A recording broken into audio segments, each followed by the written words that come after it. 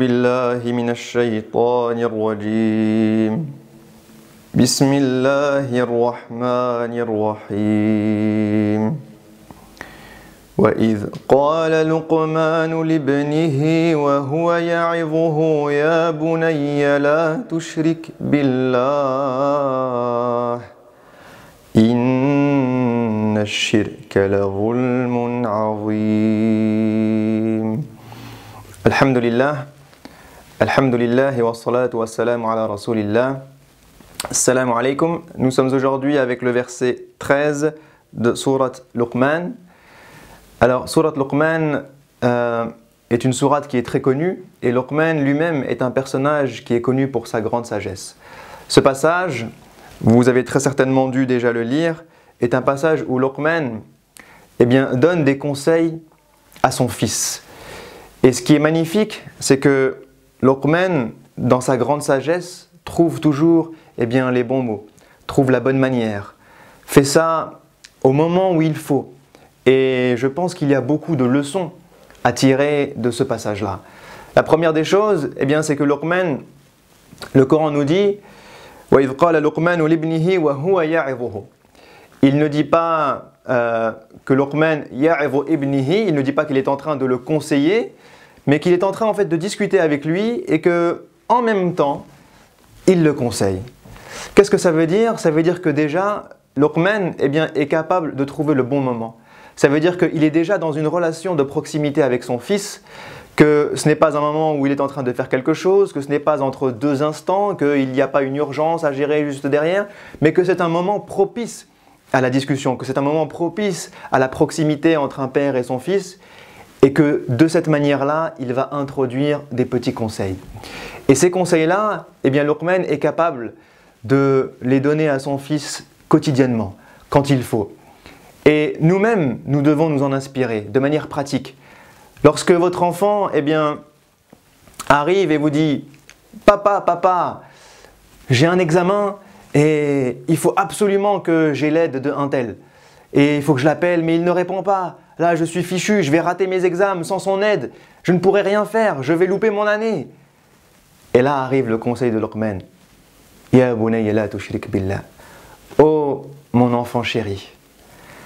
Eh bien, n'associe personne à Allah subhanahu.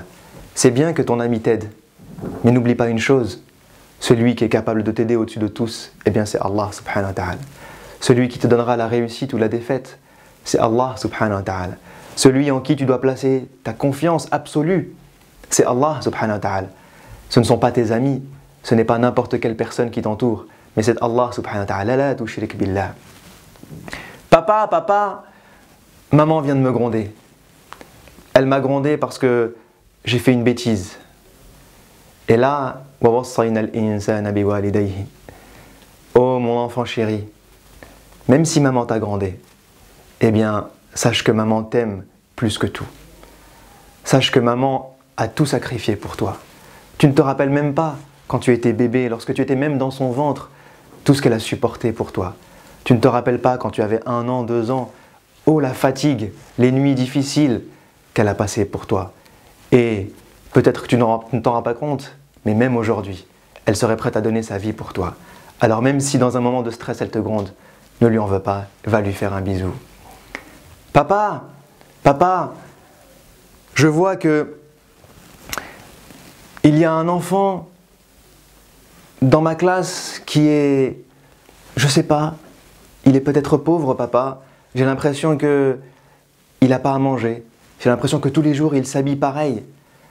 J'ai l'impression que tout le monde se moque de lui dans la classe. Oh mon fils, cet enfant, c'est ton camarade. Il est comme toi. Et peut-être que toi, tu aurais pu vivre ce qu'il vit. Alors aide-le. Aide-le si tu peux partager de ton repas, partage de ton repas. Si tu peux le défendre, eh bien défends-le. Si quelqu'un, eh bien dans la classe, l'insulte ou l'humilie ou se moque de lui, alors sois celui qui le défendra toujours. Ya bunay, wa'mur bil ma'ruf, wanha 'anil munkar. Aide-le et défends-le. Papa, mais pourquoi est-ce que tu te lèves à 4 heures du matin, papa, pour prier? Ya Ô mon enfant chéri, sache que nous sommes sur cette terre pour créer un lien avec Allah subhanahu wa ta'ala. Aqim salat Instaure cette prière, fais-en un pilier de ta vie, fais-en quelque chose d'important. Lève-toi et viens prier avec moi. Et si vous voyez votre enfant qui est tout seul dans sa chambre, alors que son couvre-feu est passé, et qu'il est en train de jouer, ou de faire quelque chose que vous ne lui autorisez pas sur Internet, et que là, tout d'un coup, vous le surprenez, alors dites-lui, Ô oh mon fils, sache que je ne serai pas toujours là. Sache que tu pourras te retrouver tout seul parfois, que papa ne te voit pas, que maman ne te voit pas. Mais sache que Allah subhanahu wa ta'ala te voit. Que la plus petite des actions, eh bien Allah subhanahu wa ta'ala l'observe. In min khardalin. Allah. Même si ce ne serait-ce qu'un atome, même si c'est caché dans l'obscurité, même si c'est sous terre, Allah le voit. Alors mon enfant chéri, eh bien, n'essaye pas de plaire à papa ou à maman, essaye de plaire à Dieu. N'essaye pas de craindre eh bien, que, Allah ou que papa ou maman ne soient pas contents, mais essaye de plaire à Allah subhanahu wa ta'ala. Papa, papa, tu te rappelles cet enfant? Celui que tout le monde n'aimait pas Celui dont les enfants se moquaient? Eh bien, je l'ai défendu. Mais on m'a insulté. On s'est moqué de moi à mon tour. Ô mon enfant,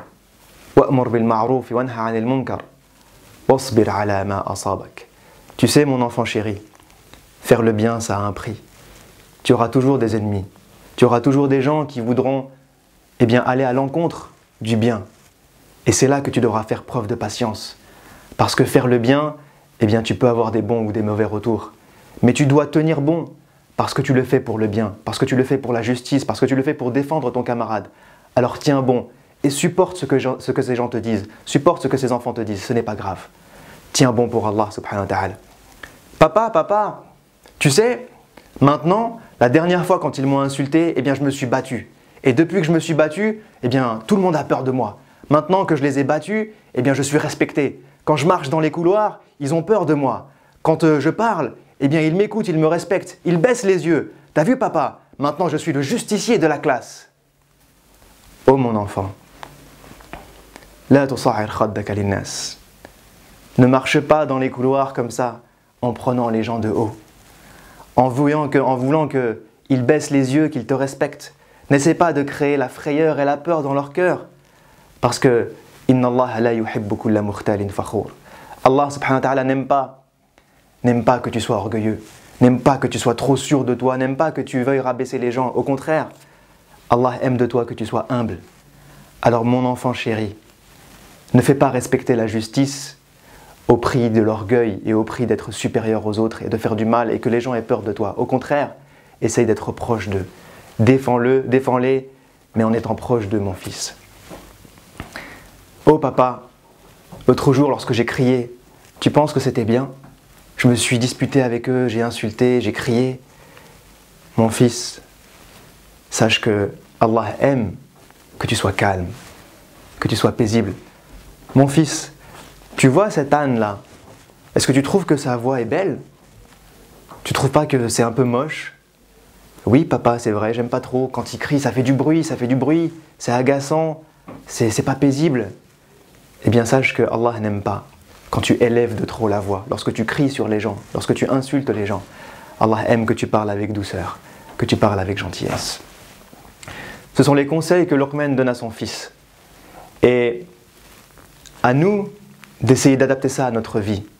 Subhanallah, lorsqu'on lit ce passage, on voit que Luqman est capable de faire quelque chose de magnifique. Il est capable aussi bien de donner de la profondeur dans ses conseils, il va à l'essentiel. Et ça, c'est quelque chose d'important. Avec nos enfants, pas la peine de discuter des futilités, éduquons-les de l'essentiel.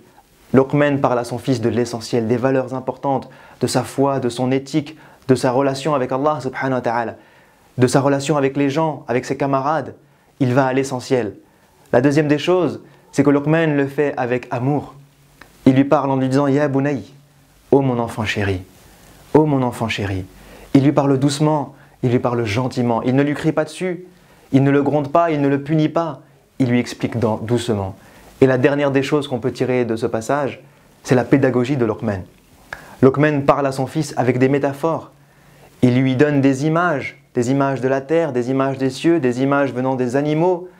Il lui parle d'une manière pédagogue que son fils peut comprendre et assimiler et ensuite appliquer de manière pratique. Alors, je conclurai en disant que nous sommes responsables de l'éducation de nos enfants. Aujourd'hui, il y a beaucoup de gens qui pensent que l'école va éduquer leurs enfants, que les garderies vont éduquer leurs enfants, que les soutiens scolaires vont éduquer leurs enfants, que les centres aérés vont éduquer leurs enfants. Et si je peux me débarrasser de mes enfants et que les autres s'en occupent, alors c'est bien. Mais croyez-moi, personne n'éduquera vos enfants à part vous. Personne ne prendra cette responsabilité mieux que vous. Et c'est de notre responsabilité de donner du temps à nos enfants, de donner de l'amour à nos enfants, de donner de l'éducation à nos enfants, de leur apprendre ces valeurs fondamentales et de les faire grandir dans leur vie pour qu'un jour ils puissent marcher sans nous, pour qu'un jour ils puissent s'envoler sans nous. C'est notre responsabilité de parents. Alors s'il vous plaît, ne laissez pas quelqu'un d'autre éduquer vos enfants. Wassalamu alaikum wa rahmatullahi wa barakatuh. شهر رمضان الذي أنزل فيه القرآن هدى للناس هدى للناس وبينات من الهدى والفرقان.